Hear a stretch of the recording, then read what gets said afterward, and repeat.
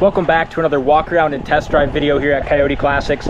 Um, new to the lot is this 1965 Mustang Coupe, beautifully restored car, four-speed manual transmission, and done in a beautiful vintage burgundy metallic. Yeah, Dalton, this was the original color on this car. Uh, factory Palomino interior, vintage burgundy exterior. Was a C-code car, so it was not a factory GT.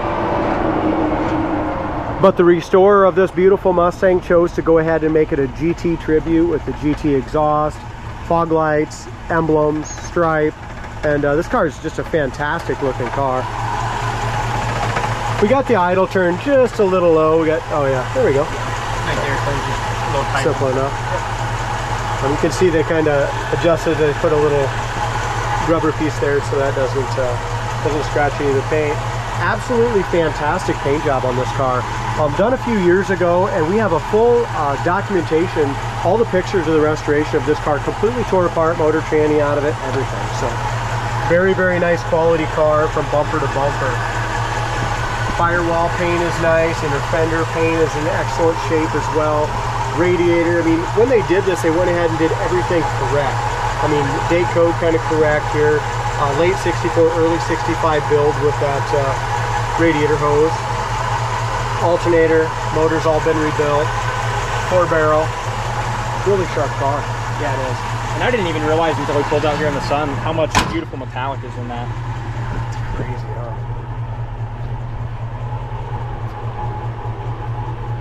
Really nice gaps, front to back. The chrome has all been restored. Got the horse and corral, fog lights, like you said, if you just got to really walk around it and see how that glistens, huh? Lines up good. I really like the Palomino interior with this color. I think it's probably pretty much standard when you got the vintage burgundy, you got the Palomino. Style steel rims, nice uh, stance on this one too, and a nice set of BFG raised white letter tires. Looks like they went with a 215-70, so it's got that nice taller stance really quiet, nice running idle as well. This car is another one that really impressed me when I got behind the wheel of this little Mustang. Uh, the four speed shifted great, had plenty of power. There's a little chip here that's been touched up. A little bit right there. Um, other than that, the bottom of the door is in excellent shape. But would you mind to go ahead and give it a little gas for us? Beautiful GT dual exhaust.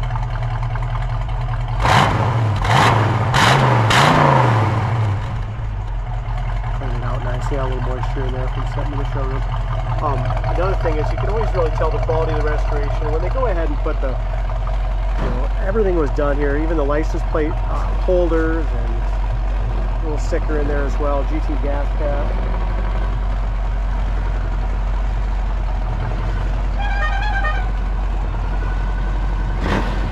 As we look up and down the sides of this Mustang, super nice car. Even the pinch weld and stuff on the bottom was painted nicely back glass is original. Um, you can tell it's got some micro scratches and stuff like that in the back glass. Um, that has not been replaced. As far as our door handles have been replaced. Doors open and shut really nicely. And uh, you'll see by the restoration pictures that we have as well. I mean, just the paint job, um, the paint in the door jambs is absolutely as nice as the paint on the outside of the car. And most people don't go to that kind of effort to do that. On bottom of the door is great. Again, paint shine, it still looks wet in the door jambs. Interior is beautiful. It's got the full console, factory four speed. Dash pad, top of the dash paint is gorgeous. Headliner's nice. Steering wheel has been replaced. It looks like there's not a crack in that. The steering column's nice. Um, still has the uh, the original 65, the early 65 dash in it. Too bad the original radio don't work, but at least it's there. There again, inside the ashtray. A little flash drive here. I if that's for the pictures of the restoration, possibly. Heater fan works. Console's in great shape. Dyed nicely to match seat backs. I mean, it, you're not going to get much more of a, a more beautiful interior. Absolutely gorgeous.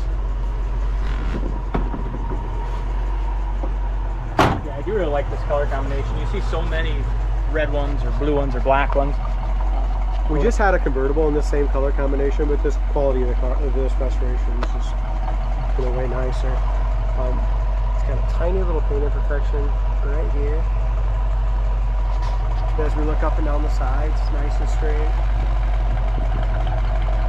All new chrome. Around the tail lights, new chrome bumper. Gas caps all new. Trunk lid fits well.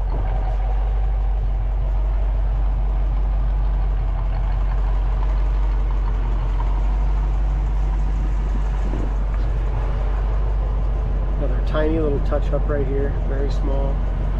Plenty of clearance here. Um, we didn't go too wide at all. There's a lot of clearance in the wheel wells.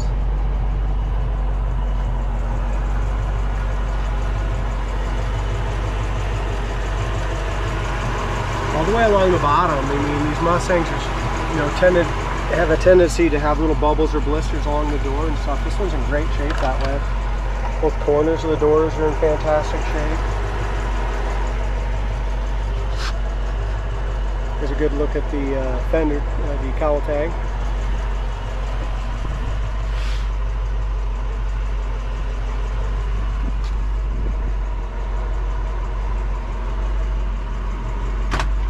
And the clutch pedals, all that kind of stuff was properly restored as well.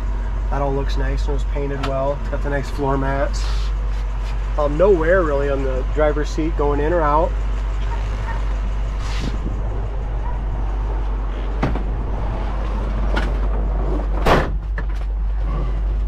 Uh, the gas gauge works. Wipers work. And they And they shut shut off. That's crazy. Don't have a problem with that lately. Temperature gauge is coming up too. It's got 92,829 miles, probably actual miles. Hard to say though when a car's been restored. Talked about the horn working, the heater, and everything works with the radio in this car. Now with these Mustangs, a lot of them don't have power steering because they're a little car and they've got a big steering wheel. Um, and this one doesn't, and it's, it's but I think as far as the gearbox and all that kind of stuff is all new. I mean, it's super tight and nice. Yeah, it steers. It really steers easy too. Yeah, really. And we'll kind of go that way. You can kind of show. I can kind of show you. This car for a little Mustang hauls. Yeah, it does. I was impressed the first time I drove it. Now it does have drum brakes, and they stop great, nice and straight. And the brake pedal is way up top on it. So you got a good master cylinder. It had a really nice idle the whole time it was sitting there running, and it's got a great idle here at the stop sign. I mean, this car's really ready to jump in and go.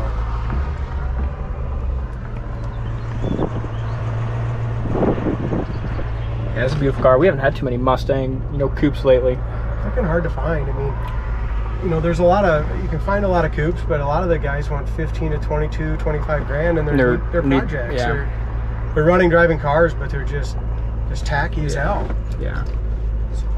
So we need 30 grand to work, you know. Well, and once you have, you start with a tacky car like that, it's hard to make a nice car out of that. yeah, it is. Where do you start and stop on a restoration?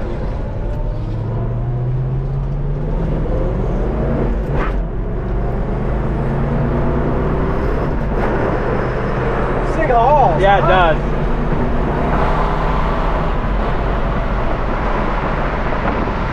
Pretty fast car. For a little Mustang coupe, I mean, there's a lot of fastbacks that don't go this fast, I'll tell you that.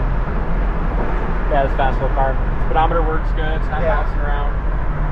But here's another thing. So we're talking no power steering, going down the road 60 mile an hour, perfect. You're gonna sink synchro down to the third gear, set you back in the seat, 70 mile an hour, downshift again. Fantastic build on this Mustang. That is. Not only is it a beautiful color, um, being an original color like this, metallic paint, car drives just as nice as it looks. Absolutely. Yeah, check this one out on the website, coyoteclassics.com. Very well restored Mustang.